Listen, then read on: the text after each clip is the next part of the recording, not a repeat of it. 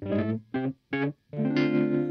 up this morning with my old friend named Fear.